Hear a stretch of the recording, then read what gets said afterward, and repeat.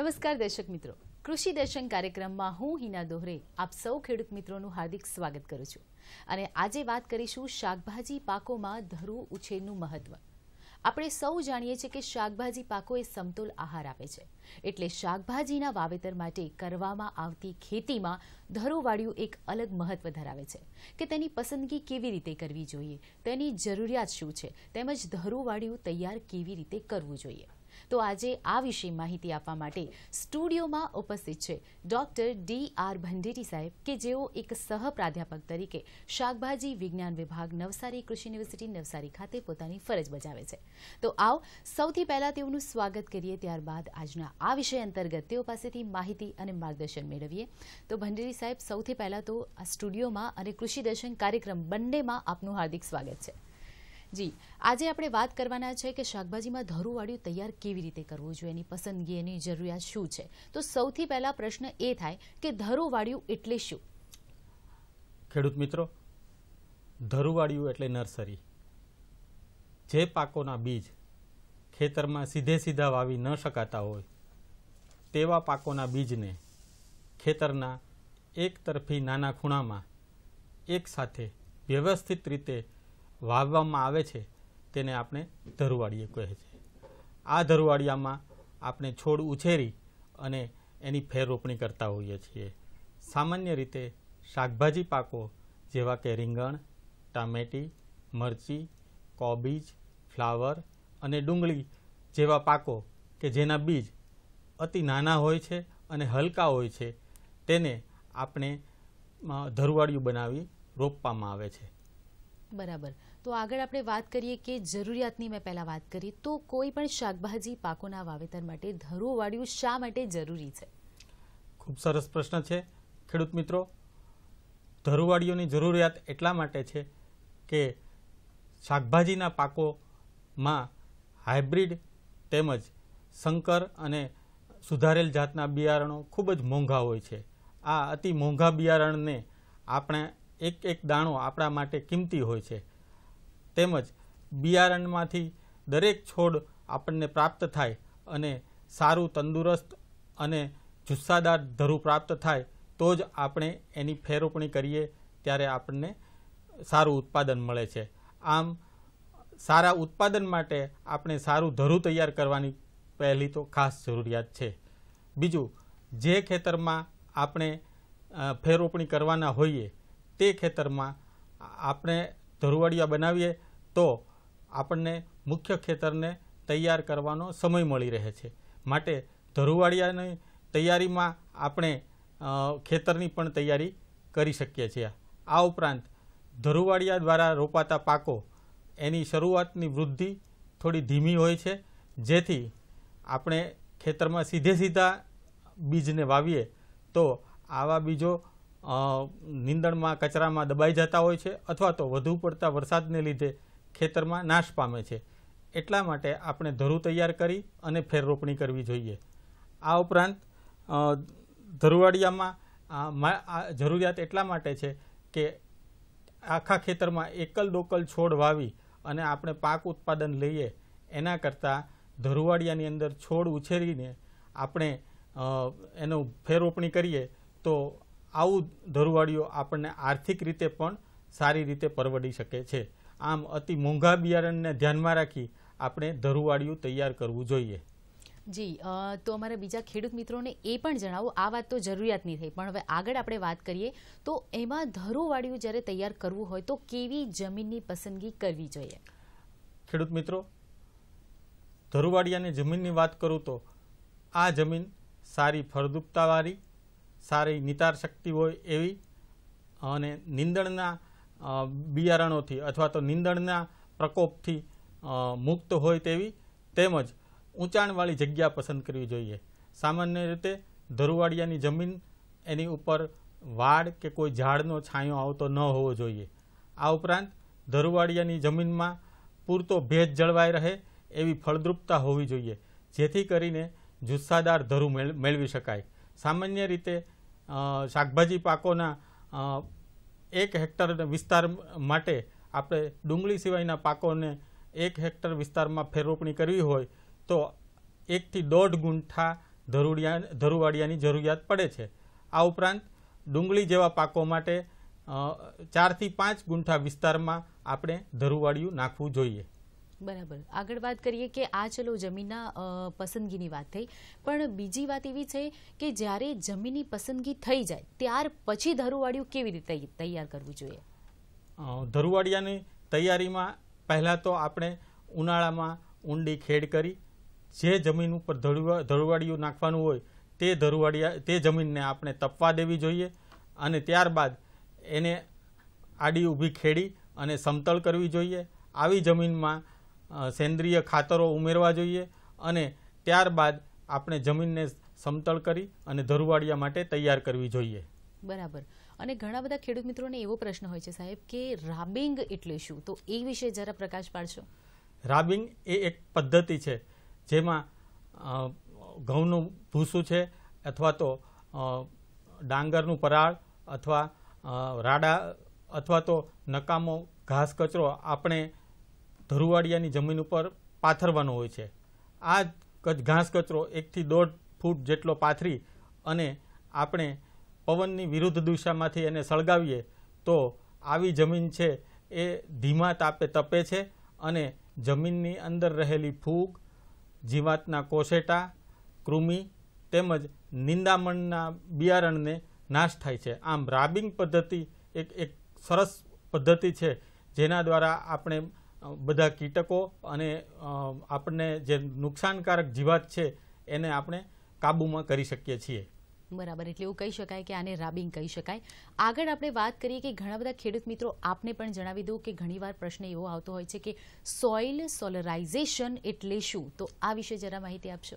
Soil solarisation એક એવી પદ્ધતિ છે કે જેમાં જે ધરુવાડીઓ આપણે બનાવીએ છીએ તે ઊંચાણવાળા વિસ્તારમાં લેવું જોઈએ. આ ધરુવાડિયાઓને આપણે પિયત આપી સારી રીતે પલળવા દેવું જોઈએ. ત્યારબાદ આ ધરુવાડિયા ઉપર સો ગેજ માઇક્રોન, સો માઇક્રોનનો આપણે પારદર્શક પ્લાસ્ટિક પાથરી અને તેના ખૂણાઓ છે, તેની ધાર છે, એને આપણે જમીનથી દબાવી દેવી જોઈએ. આમ ઉનાળામાં પંદરથી વીસ દિવસ સુધી પ્લાસ્ટિક પાથરેલું રાખવાથી તેની અંદર ભેજ ઉપર આવશે. આ ઉપરાંત સૂર્યના તાપથી જે ગરમી પેદા થશે, તેના દ્વારા જમીનની અંદર રહેલ ફૂગ, જીવાત તેમજ નીંદણના બિયારણને આપણે કાબૂમાં કરી શકશું. આમ, સોઇલ સોલરાઇઝેશન એક અતિ મહત્વની પદ્ધતિ છે કે જેના થકી આપણે આવા નીંદણનો પણ નાશ કરી શકીએ છીએ. બરાબર. આગળ વાત કરીએ કે જ્યારે ધરુવાડિયાની વાત પાછી આપણે વાત કરીએ, તો એમાં જે સેન્દ્રિય ખાતર છે, રાસાયણિક ખાતર છે, એનું મિશ્રણ કેવી રીતે કરવું જોઈએ તથા આ મિશ્રણ જે છે, એનું જે પ્રમાણ છે, એ કેટલું અને કેવી રીતનું હોવું જોઈએ? ખૂબ સરસ પ્રશ્ન છે. રાસાયણિક ખાતરો અને સેન્દ્રિય ખાતરો ધરુવાડિયામાં ચોક્કસપણે સારી માત્રામાં આપવા જોઈએ.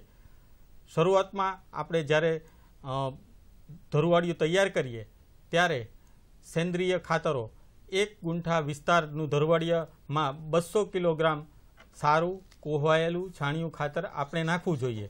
આ ઉપરાંત તેમાં નાઇટ્રોજન, ફોસ્ફરસ અને પોટાશ પાંચસો ગ્રામ લેખે એક ગુંઠા વિસ્તારમાં નાખવાથી તે આપણને સારું ઉત્પાદન, ધરુનું ઉત્પાદન મળે છે. આ ઉપરાંત જમીનની તૈયારી કરતી વખતે ફ્યુરા, કાર્બોફ્યુરાન થ્રીજી નામની એક જે દવા આવે છે, એ પણ આપણે જમીનમાં ભેળવવી જોઈએ. જેથી જમીનની અંદર રહેલ કૃમિ તેમજ ચૂસ્યા પ્રકારની જીવાતનો આપણે ઉપદ્રવ ઓછો થાય છે અને જુસ્સાદાર અને તંદુરસ્ત ધરું મેળવી શકીએ છીએ. બરાબર. ભંડેરી સાહેબ, આપણી આ ચર્ચા અહીં ચાલુ જ રહેશે. ખેડૂત મિત્રો, આપ ક્યાંય જતા નહીં. આપ નિહાળી રહ્યા છો કૃષિ દેશન કાર્યક્રમ. સમય થયો છે એક વિરામ લેવાનો. લઈએ એક નાનકડો વિરામ.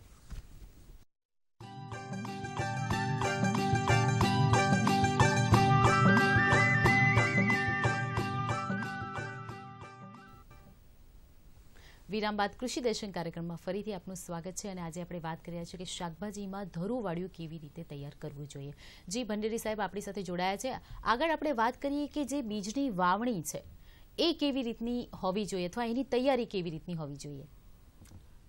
ધરુવાડિયાની અંદર આપણે બીજની વાવણી એ ધરુવાડિયાની ઉપર આપણે ચાસ ખોલીને કરવી જોઈએ. સામાન્ય રીતે ધરુવાડિયાની ઉપર આપણે દસ સેન્ટીમીટરના અંતરે હાથથી અથવા તો ખંપાળીથી આપણે દસ સેન્ટીમીટરના અંતરે ચાસ ખોલી, આ ચાસની અંદર બેથી અઢી સેન્ટીમીટરની ઊંડાઈએ બીજ પડે એવી રીતના એક સરખું બીજ વાવી અને ત્યારબાદ ખંપાળી ઊંધી ફેરવી અથવા તો સાવરણો ફેરવી આપણે આ બીજને જમીનની અંદર દબાવી દેવું જોઈએ. ત્યારબાદ તેના ઉપર ઘઉંનું પરાળ અથવા તો ઘાસ નાખવાથી અને ઝારાથી પાણી આપવાથી ભેજને લીધે બિયારણ ઉગી નીકળશે. આ બિયારણ લગભગ બેથી ત્રણ દિવસમાં ઉગશે.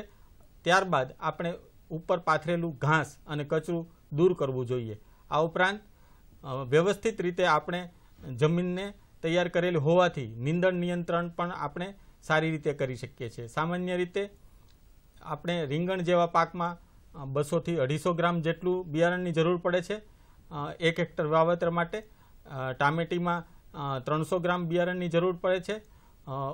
કોબીજ તેમજ ફ્લાવર માટે પાંચસો ગ્રામ બિયારણની હેક્ટરે જરૂર પડે છે. તેમજ ડુંગળી માટે આઠથી દસ કિલોગ્રામ બિયારણની આપણને જરૂરિયાત રહે છે. બરાબર.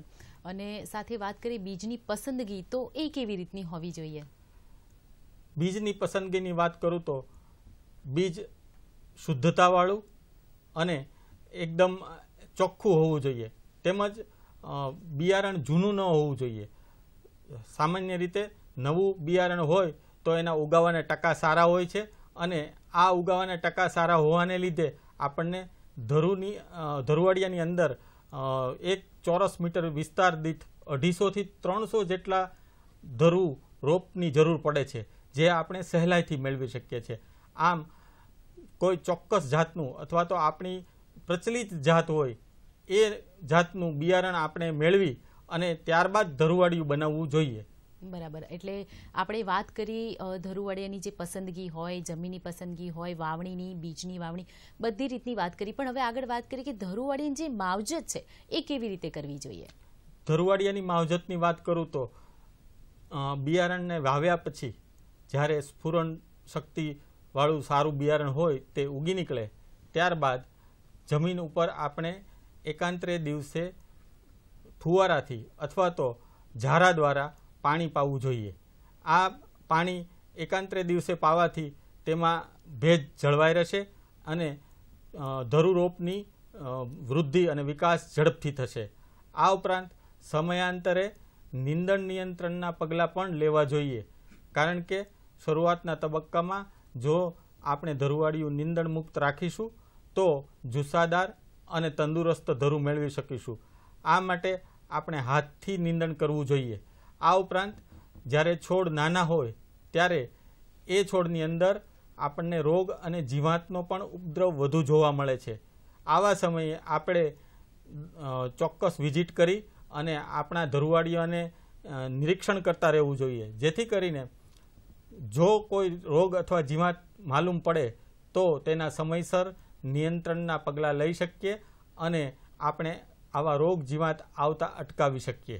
બરાબર. હવે અમારા ખેડૂત મિત્રોને એ જણાવો કે જ્યારે ધરું કે રોપની જરૂરિયાત હોય જ્યારે હેક્ટરે ધરુની જરૂરિયાત તથા રોપની જરૂરિયાત તેમજ જે ધરુ ઉછેર છે એ માટેનો જે સમય છે તો એ સમય વિશે જો ચર્ચા કરીએ તો એ વિશે શું કહેશો આપ? શાકભાજીના પાકો જેવા કે રીંગણ એની અંદર આપણે ત્રણેય ઋતુમાં એ પાક ઉગાડી શકીએ છીએ. શિયાળુ ઉનાળુ અને ચોમાસું. જે માટે આપણે બીજની વાત કરું તો હેક્ટરે અઢીસોથી ત્રણસો ગ્રામ જેટલું રીંગણના બીજની જરૂરિયાત રહે છે. આ બીજને આપણે ધરુવાડીયામાં રોપી ત્યારબાદ તૈયાર થયેલ ધરુને આપણે સાઠ બાય સાઠ સેન્ટીમીટર અથવા તો સાઠ બાય પંચોતેર સેન્ટીમીટરના અંતરે રોપીએ તો આપણે ધરુ રોપની સંખ્યા હેક્ટરે વીસથી ત્રીસ હજાર જેટલી જરૂરિયાત રહે છે. આ ઉપરાંત ટામેટાની પાકની વાત કરું, તો ટામેટામાં હેક્ટરે બસો પચાસ ગ્રામ જેટલા બીજની જરૂરિયાત રહે છે. સામાન્ય રીતે ટામેટીનો પાક નેવું બાય પંચોતેર સેન્ટીમીટર અથવા તો પંચોતેર બાય સાઠ સેન્ટીમીટરે આપણે રોપીએ, તો અંદાજે વીસથી પચીસ હજાર ધરુ રોપની જરૂરિયાત રહે છે. આ ઉપરાંત આપણે ચીલી એટલે કે મરચી. મરચીનો જે પાક છે, એ પાકમાં આપણે સાતસો પચાસ ગ્રામ જેટલા બિયારણની હેક્ટરે જરૂરિયાત રહે છે. મરચીનો પાક પણ શિયાળુ અને ચોમાસું દરમિયાન થઈ શકે છે. આ પાકને આપણે સાઠ બાય સાઠ સેન્ટીમીટરે રોપીએ તો અંદાજિત ત્રીસ હજાર જેટલા ધરુ રોપની જરૂરિયાત રહે છે. આ ઉપરાંત કોબીજ તેમજ ફ્લાવર કે જેનું આપણે પાંચસો ગ્રામ જેટલું બીજ હેક્ટરે જરૂરિયાત રહે છે, તેને આપણે પિસ્તાલીસ બાય પિસ્તાલીસ સેન્ટીમીટર અથવા તો પિસ્તાલીસ બાય ત્રીસ સેન્ટીમીટરના અંતરે ફેર રોપણી કરવી જોઈએ, જેના માટે આપણે અંદાજિત પચાસ હજાર જેટલા ધરુ રોપની જરૂરિયાત રહે છે. આ ઉપરાંત, આપણે ડુંગળીના પાકની વાત કરીએ, તો ડુંગળીના પાકમાં આપણે આઠથી દસ કિલોગ્રામ જેટલું બીજ આપણને હેક્ટરે જરૂર પડે છે. સામાન્ય રીતે ડુંગળીનો પાક પંદર બાય દસ સેન્ટીમીટર અથવા તો દસ બાય દસ સેન્ટીમીટરના અંતરે રોપવાનો થાય છે. આ માટે આપણે અંદાજિત સાડા છ લાખથી દસ લાખ જેટલા ધરુ રોપની જરૂરિયાત રહે છે. બરાબર. ભંડેરી સાહેબ, આપણી આ ચર્ચા અહીં ચાલુ જ રહેશે. ખેડૂત મિત્રો, આપ ક્યાંય જતા નહીં. આપ નિહાળી રહ્યા છો કૃષિ દર્શન કાર્યક્રમ. સમય થયો છે એક વિરામ લેવાનો. લઈ એક નાનકડો વિરામ.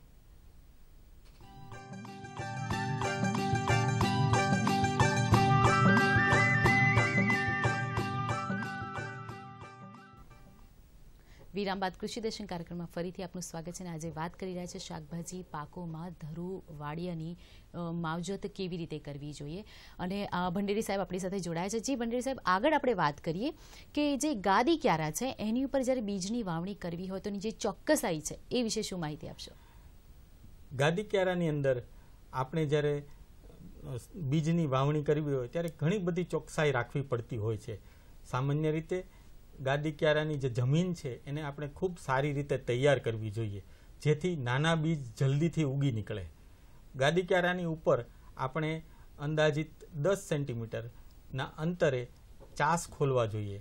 આવા ચાસની અંદર આપણે બેથી અઢી સેન્ટીમીટરની ઊંડાઈએ બીજ રોપવા જોઈએ. સામાન્ય રીતે શાકભાજીના પાકો કે જેને આપણે ધરુથી કરીએ છીએ, એના બીજ અતિ નાના હોય તો આપણે આવા બીજની સાથે થોડી રેતી ભેળવી છે અને પછી રોપણ, રોપણી કરીએ ચાસની અંદર. તો એક એક સરખું આપણે બિયારણ રોપી શકતા હોઈએ છીએ. અને આવી રીતના એક સરખું બિયારણ રોપ્યા પછી તેના ઉપર આપણે સાવરણો ફેરવવી અથવા તો માટી ઉપર દબાવી દઈ અને ત્યારબાદ આપણે હળવું પિયત ફુવારાથી અથવા ઝારાથી આપવું જોઈએ. અને સામાન્ય રીતે પહેલાં બે દિવસ પિયત છે એ આપણે દરરોજ આપવું જોઈએ અને જ્યારે બીજ ઉગી જાય ત્યારબાદ એકાંતરે દિવસે પિયત પણ આપવું જોઈએ. સારો ઉગાવો થયો પછી આપણે ઉપર જે ઘાસનું કચરો, ઘાસ કચરાનું જે લેયર પાથરેલું હોય તે તુરંત દૂર કરવું જોઈએ. આ ઉપરાંત આપણે આવા ધરુવાડિયાની અંદર જો કોઈ રોગ અને જીવાત આપણને જોવા મળે તો એના આપણે અસરકારક નિયંત્રણના પગલાં તાત્કાલિક શરૂ કરવા જોઈએ. સામાન્ય રીતે જ્યારે ધરું મોટું થાય અને ચોમાસા દરમિયાન વાદળછાયું વાતાવરણ હોય, ત્યારે આવા વાતાવરણમાં ધરુનો કોહવારો એ રોગ ખૂબ આવી જતો હોય છે. આવા સમયે આપણે રીડોમિલ એટલે કે મેટાલેક્સિલ એમઝેડ જે દવા છે, એનું આપણે વીસ ગ્રામ પ્રતિ દસ લીટરમાં દ્રાવણ બનાવી અને આ દ્રાવણનું ડ્રેન્ચિંગ કરવું જોઈએ. અથવા તો આપણે જી. આગળ વાત કરીએ, એ સિવાય બીજા કયા મુદ્દાઓ જે છે ધ્યાનમાં રાખવા જોઈએ? ઓકે. આ ઉપરાંત આપણે નિંદણ નિયંત્રણના પગલાં પણ સમયાંતરે લેવા જોઈએ. કારણ કે ધરુ છે એ લગભગ પચીસથી ત્રીસ દિવસ આપણા ધરુવાડિયામાં રહેવાનું હોય છે. અને આવા સમયે શરૂઆતની અવસ્થામાં જો નિંદણ ધરુવાડિયાની અંદર હશે, તો ધરુનું પ્રગતિ એની એની, એનો વિકાસ ઓછો થશે અને આપણને ઓછું જુસ્સાદાર એટલે કે લાંબુ અને એવું જે આપણા કામનું નથી, એવું ધરું ઉત્પન્ન થશે. તો એના માટે આપણે સારું ધરુવાળિયું બનાવવા માટે આપણે નિયંત્રણના પણ સમયસર પગલાં લેવા જોઈએ. બરાબર. આ વાત થઈ કે ગાદી ક્યારા ઉપર જે બીજની વાવણી છે કેવી રીતે કરવી જોઈએ. આગળ આપણે વાત કરીએ, ઘણા બધા ખેડૂત આપણી સાથે જોડાયા છે ને એમનો એવો એક અગત્યનો પ્રશ્ન છે કે જ્યારે શાકભાજીના પાકોમાં ધરુવાળિયું તૈયાર કરીએ છીએ તો એ કેટલા સમયમાં તૈયાર થઈ જાય છે? ખૂબ સરસ પ્રશ્ન છે. ધરુવાડીઓ આપણે જેવી રીતના મેનેજમેન્ટ કરીએ છીએ, આપણે એનો જેવી રીતના વિકાસ કરીએ છીએ, એના ઉપર એની તૈયાર થવાની દિવસો હોય છે, શક્યતાઓ હોય છે. પરંતુ હું તમને એક વાત જણાવી દઉં કે રીંગણ અને ટામેટી એ જે પાક છે, એમાં પચીસથી ત્રીસ દિવસે સામાન્ય રીતે ધરું તૈયાર થતું હોય છે. આ ઉપરાંત મરચીમાં પાંત્રીસથી ચાલીસ દિવસે અને ડુંગળી જેવા પાકનું ધરું ચાલીસથી પિસ્તાલીસ દિવસે તૈયાર થઈ જાય છે. એક એવી પ્રચલિત માન્યતા છે કે જ્યારે ધરુની અંદર ચારથી પાંચ પાન આવી જાય અથવા તો આ ધરું દસથી પંદર સેન્ટીમીટર જેટલી ઊંચાઈ પ્રાપ્ત કરે ત્યારે ધરું તૈયાર થયેલું ગણાય. આવા ધરુને આપણે સમયસર ફેર રોપણી માટે લઈ જવું જોઈએ. બરાબર. આગળ વાત કરીએ કે જ્યારે ધરુવાળિયું કોઈ પણ શાકભાજી પાકમાં જ્યારે ધરુવાળિયુંની ફેર રોપણી કરતા હોય, તો એ ફેર રોપણી કરતી વખતે કઈ કઈ બાબતોનું ખાસ ધ્યાન રાખવું જોઈએ? ખૂબ સરસ પ્રશ્ન છે. ધરુવાડની, ધરુવાડી, ધરુવાડિયામાંથી જ્યારે આપણે ધરુ ઉપાડીએ, ત્યારે આવા ધરુને પ્રથમ તો જ્યારે ઉપાડવાનું હોય, એના બે દિવસ અગાઉ થોડી પાણીની ખેંચ આપવી જોઈએ. જેથી કરીને આવું ધરું છે એ પાણીની ખેંચ સામે ટકી શકે. આ ઉપરાંત જે દિવસે આપણે ધરુવાળી ઊંચકવાનું હોય ઉપાડવાનું હોય, તે દિવસે સવારે પાણી પાય અને બપોર પછી ફેર રોપણીનો કાર્યક્રમ રાખવો જોઈએ. કારણ કે સામાન્ય રીતે બપોર બાદ ફેર રોપણી કરવાથી અને એને મુખ્ય ફિલ્ડમાં પાણી આપવાથી આખી રાતનો જે સમયગાળો છે, એમાં એ ધરું છે એ જમીનની અંદર સારી રીતે એસ્ટાબ્લિશ્ડ એટલે કે તૈયાર થઈ શકે અને એનો મૃત્યુ દર આપણે ઘટાડી શકીએ છીએ. બરાબર. તો આગળ આપણે વાત કરીએ કે જે બેસ્ટ સમય કહી શકાય. તો કે આદર્શ સમય કયો છે ફેર રોપણી માટે? ફેર રોપણી માટેનો આદર્શ સમય તમને વાત કરું તો બપોર બાદનો છે. એટલે બપોર બાદ આપણે જો ફેર રોપણી કરીએ તો આખી રાતના ઠંડા વાતાવરણને લીધે એ એસ્ટાબ્લિશ સારી રીતે થઈ જાય છે. અને આપણે હેક્ટરે પૂરતી સંખ્યામાં છોડ મેળવવાથી આપણું ઉત્પાદન વધારી શકીએ છીએ. જી ભંડરી સાહેબ આપ અહીં આવ્યા અને આજના આ વિષય અંતર્ગત જે તમામ માહિતી અને માર્ગદર્શન અમારા ખેડૂત મિત્રો સુધી પહોંચાડ્યા તે બદલ દૂરદર્શન વતી હું આપનો ખૂબ ખૂબ આભાર માનું છું. ધન્યવાદ. ધન્યવાદ. તો દર્શક મિત્રો આજના આ વિષય અંતર્ગત એટલે કે શાકભાજી પાકોમાં ધરૂર ઉછેરના મહત્વ વિશે આપે જે માહિતી મેળવી તેનો ઉપયોગ કરી આપના પાકના ઉત્પાદન અને આર્થિક ઉપાર્જન બંનેમાં વધારો કરી શકશો તેવી આશા સાથે આજનો આ કૃષિ દર્શન કાર્યક્રમ અહીં જ પૂરો કરીએ છીએ. તો ફરીથી મળીશું નવા વિષય નવી માહિતી અને નવા નિષ્ણાંત સાથે ત્યાં સુધી હિનાને રજા આપશો. નમસ્કાર.